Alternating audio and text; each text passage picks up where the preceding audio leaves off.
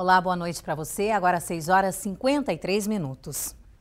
Hoje é 26 de janeiro, prazo final para resolver o impasse entre Sindicato dos Metalúrgicos e General Motors.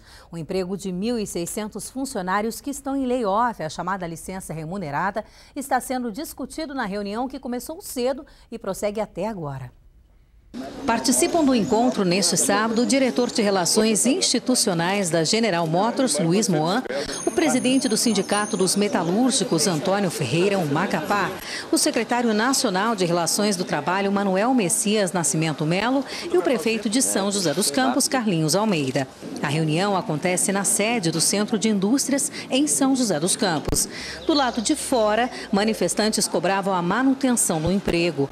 1.598 funcionários da fábrica de São José correm o risco de perder o trabalho. Na última reunião, uma audiência pública na Câmara Municipal de São José dos Campos, o diretor de Relações Institucionais da GM, Luiz Moan, chegou a falar sobre um possível fechamento da fábrica na cidade e a demissão dos 7.500 funcionários.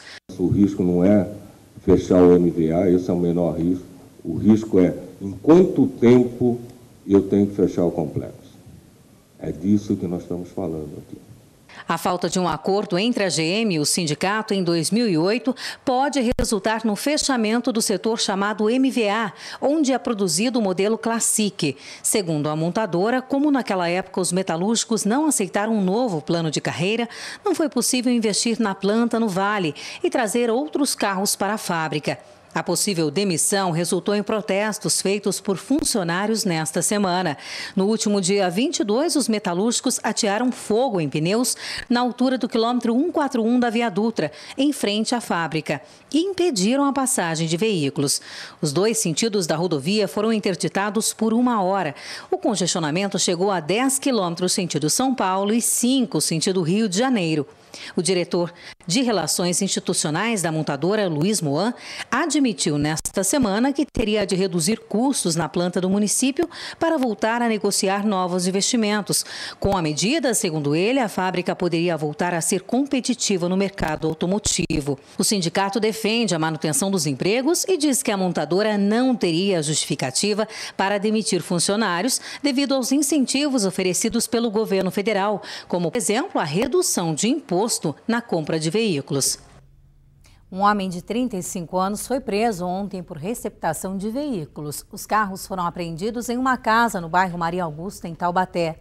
No total, foram oito veículos importados, sendo três roubados em Jacareí, dois em Taubaté e quatro com chassi adulterado. Como crime de receptação cabe fiança, ele pagou o valor de 10 salários mínimos e foi liberado. E foram divulgados ontem à noite os dados da criminalidade na região. 54 pessoas foram assassinadas só em dezembro, o dobro do registrado no mês anterior.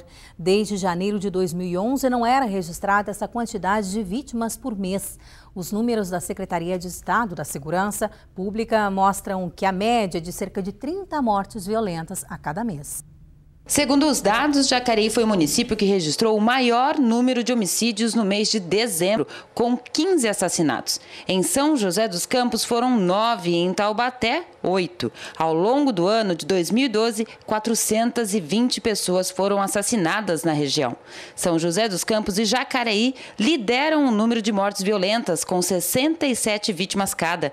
Em seguida, aparece Taubaté, com 62 mortes e três pessoas morreram em acidentes de trânsito durante a madrugada em São José dos Campos. O primeiro acidente foi na rodovia Geraldo Scavone.